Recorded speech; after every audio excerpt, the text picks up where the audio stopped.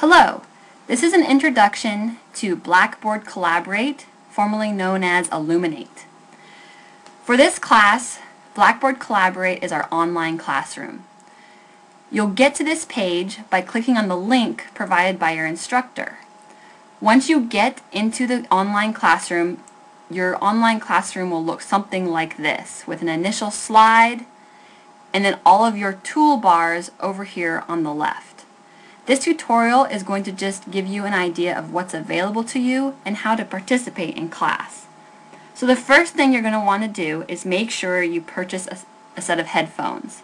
If you're using a public computer lab, the only way you're going to be able to hear the instructor during lecture is by having headphones plugged into the computer.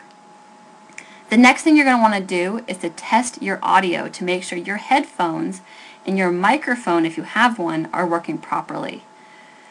So how do you test the audio? Go up to Tools, select Audio, and then click on Audio Setup Wizard. Audio Setup Wizard will go ahead and select the speaker or headphone that you have plugged into the computer. Or you can select if there's more options. Go ahead and click OK. And then you'll be able to test your speakers.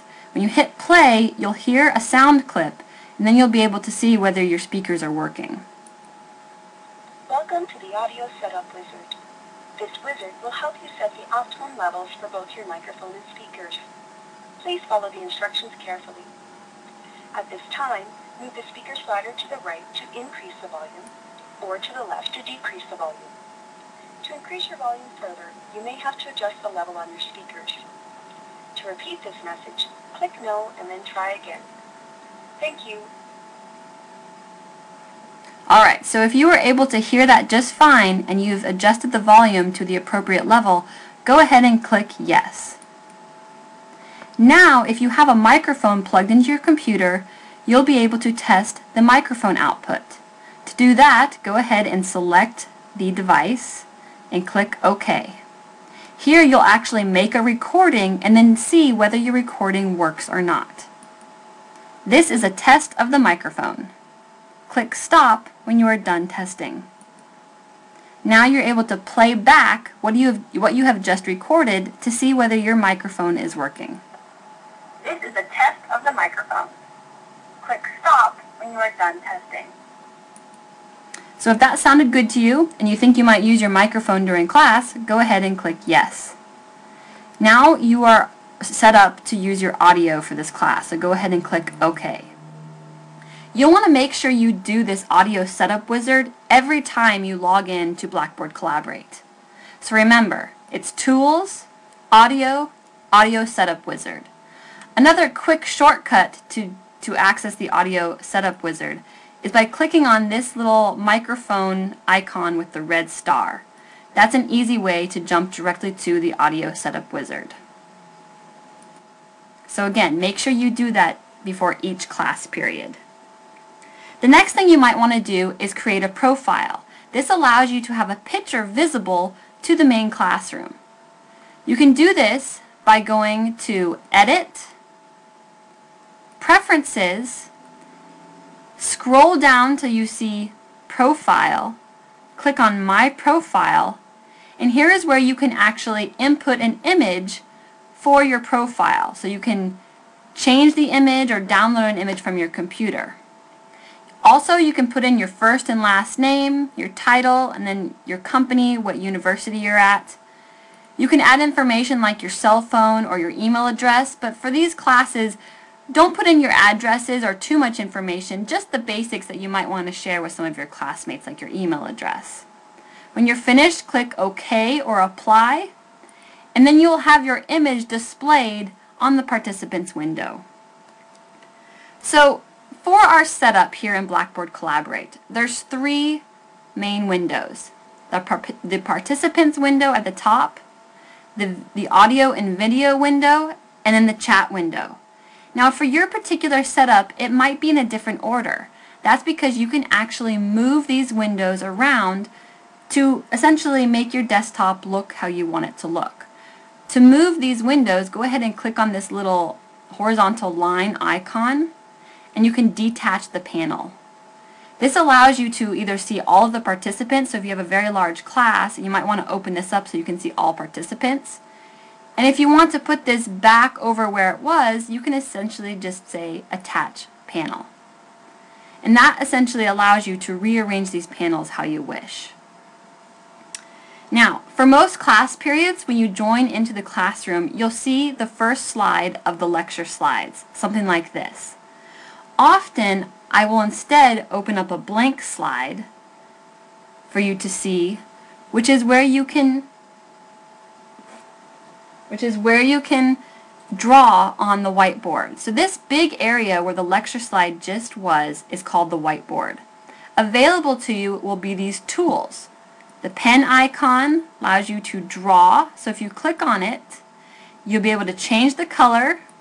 Right now yellow is selected, let's choose red. You can change how bright it is. I'll make it just about, let's say 40%. You can change the stroke, really big. Okay, so now you can draw.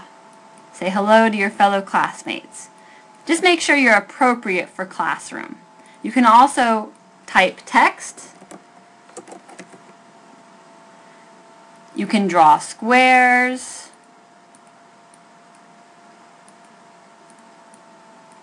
All kinds of fun stuff, just to, you know, have a little bit of fun while you're waiting for class to start.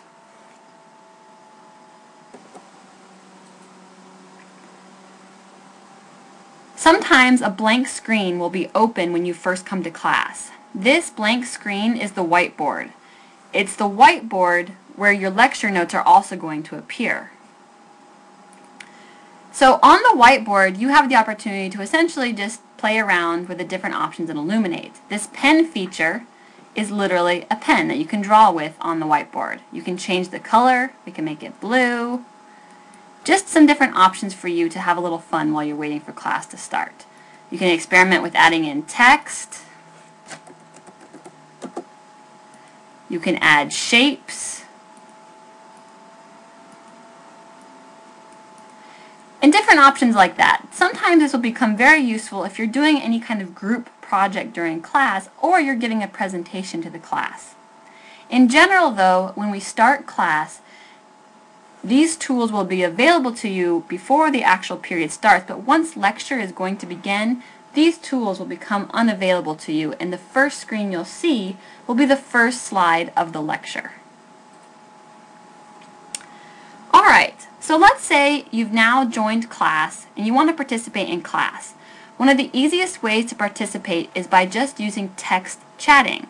Your chat box is where you can participate in text chatting. So right now you can already see my student name, I'm John Smith, and I've communicated with the instructor. So I might say, I, I'm sorry I was late for class.